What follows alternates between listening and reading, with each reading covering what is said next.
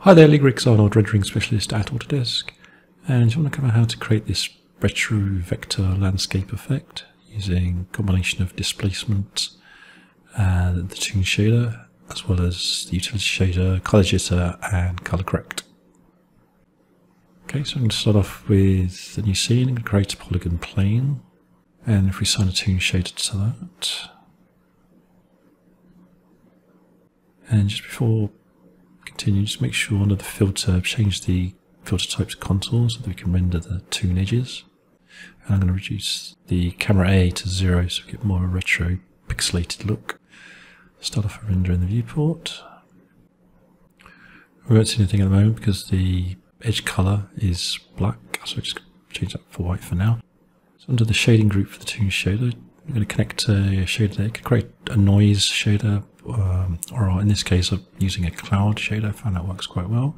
Then we need to increase the subdivisions so under the Arnold attributes of the plane, go choose the type to catclark and increase them to something like six. And then under the toon shader, just reduce the angle threshold, so maybe quite low, something like one and change the normal type to ge geometric normal. We could change the displacement scale to reduce the effect. You notice we're getting some uh, clipping here. We increase the bounds padding of the displacement to one, that should, that should fix that. Always go into the cloud settings and play around some of these values as well. Uh, increase the center threshold and transversing range.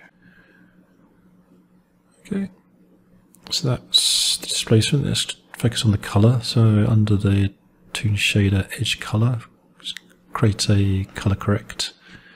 So we can adjust the colors.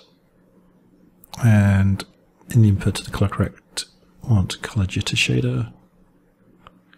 Adjust the color of the face, and then to that connect a utility shader. The normal color. Okay, so start off with the utility, change that to flat because it's pure color, and the color mode to something like normal or geometric normal. You have a play with different um, uh, color modes. Just experiment. I'm, I'm going to stick with normal for, for now. And then another color can change the type to face, and we've got face ID here. So now when we adjust the hue uh, max, adjusting the colors per face. And then color correct, we can adjust the hue shift. I'm going to increase the gamma uh, hue shift saturation, something like that. So if the utility was on UV coordinates, could uh, use the shift to cycle through the colours, get some interesting effects. I'm going to stick with normal for now. Okay, so I'm going to create, select the perspective camera, Control D, and then rename that to render cam. And under the Arnold attributes, change the camera type from perspective to orthographic. Just middle drag that from the outliner into the viewport so I get something more orthographic looking. Okay, so now we just need to keyframe the position of the place 3D texture. We've got our animated effect. We can also keyframe the angle threshold, so it kind of materializes like so. Let's go back to the plane and under the subdivision, it's two tessellated go subdivisions and produce the number of iterations.